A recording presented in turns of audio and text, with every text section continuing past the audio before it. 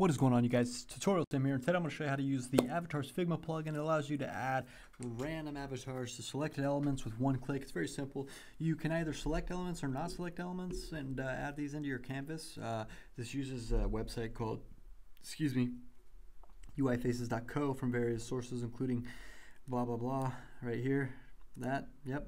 And if you want to install the plugin, the link's in my description. Um, this plugin was created by Dylan Feltis. Sorry if I butchered your last name, didn't mean to. Um, anyways, so I got a random set of shapes to kind of show you the um, versatility of this plugin and how it implements adding these avatars.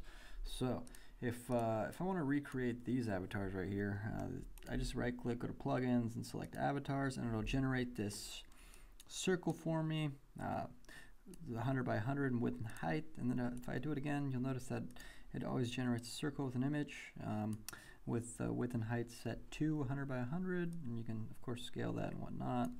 Um, again you can uh, modify the properties of the image in Figma itself here. You, you can change it to your liking. Um, also going to select something now as opposed to just generating from the plugin itself without anything selected.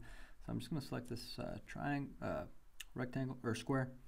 Can't speak select avatars, it'll generate that for me. Boom, got this guy. I'm gonna try shift selecting here, go to plugins, select avatars, boom, boom. And I'm gonna go here, triple select, and go to avatars and it'll generate each one. You'll notice that this image, there we go. And then we got the star. So if we go back to the star, we can also um, reapply an avatar to an image already applied to a shape and that is how you utilize the Avatars Figma plugin. Very simple and straightforward.